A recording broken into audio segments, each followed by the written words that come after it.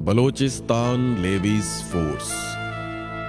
पाकिस्तान में अपनी नौयत का मुनफरद और मौसर निज़ाम अमलदारी। रिवायत से जदीदियत तक का सफ़र फर्द कायम रब्ते मिल्लत से है, तन्हा कुछ नहीं। मौजूदा दौर में जदीद तर्ज पर फोर्स की तश्कील संगीन जराइम और दहशत गर्दी के खिलाफ सफराई करना लेवीज का नस्बुल ऐन है। फोर्स के शहीद जवान और गाजी अफसरान हमारा इफ्तार है।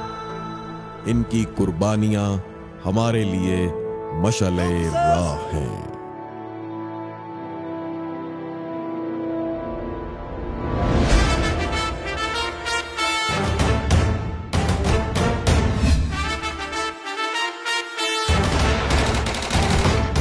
जब दिल में धड़के पाकिस्तान, हर धड़कन देश पे हो कुर्बान। जब दिल में धड़के पाकिस्तान, हर धड़कन देश पे हो कुर्बान। अल्लाह पे है पक्का ईमान। बेखौफ नज़र मेरी पहचान।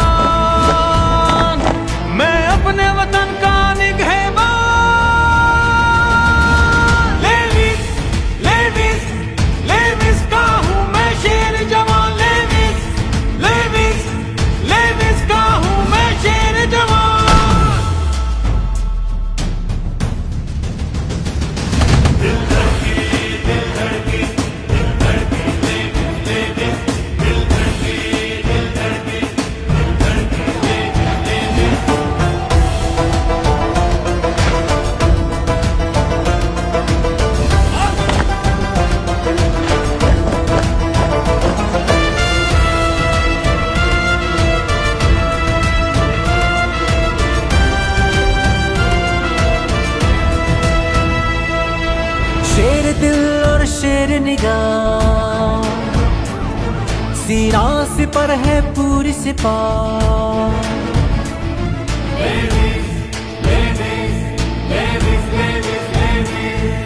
शेर दिल और शेर निगाह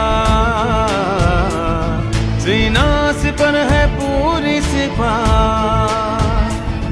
जो वादे किए हैं मिट्टी से हर हाल में वो करने हैं वफा। जो वादे किए हैं मिट्टी से, हर हाल में वो करने हैं वफा। मेरा देश है मेरे घर की तरह। भी ज़्यादा थे और दूसरे टेररिज्म भी ज़्यादा था। अभी तक है मतलब हाइबरनेटेड फॉर्म में स्लीपिंग सेल्स हैं। तो वहाँ पे हमारा क्यूरेफ की बेस मैंने रखी थी जब मैं ए सी मस्तूम था। मेरे पास उस वक्त टोटल 25 बंदे थे क्यूरेफ में। मेरा एक्सपीरियंस था। जब मैं डीसी होके गया तो वहाँ के तीन सब डिवीज़न है, करदगाब दश्त और मस्तूम तीनों सब डिवीज़न से मैंने टोटल 70 बंदे लिए। ज़बरदस्ती उनके ऑर्डर किए और उनको मैंने फैसिलिटेट किया कि उनका मेसिंग फ्री था। उनको टोटली मेस की फैसिलिटी फ्री थी ताकि तनख्वाह उनकी बच जाए। और उनकी शिफ्ट बनाई थी। और वो they were trained by Pakistan army Pakistan army के वेल ट्रेंड वो थे। जैसे आप लोग हो। तो मुझे एक फोर्स मिल गई थी। उनको मैंने मैं बेसिकली मैं खुद लाइट कमांडो मेरी ट्रेनिंग है असम्बली डैम से। तो मैंने उनको अ, खुद मैंने कमांड किया।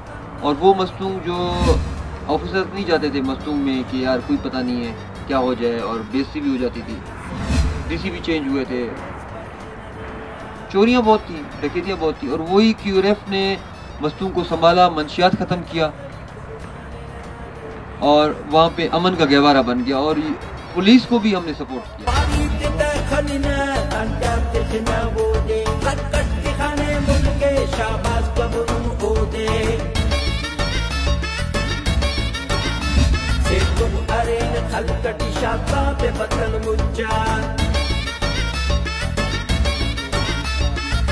napisa kungune bedare na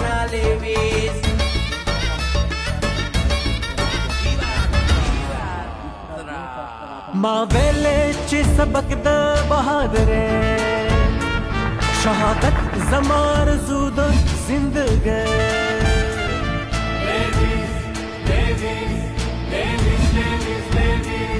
जो सबक पढ़ा है शुजात का। जो अहद किया है शहादत का।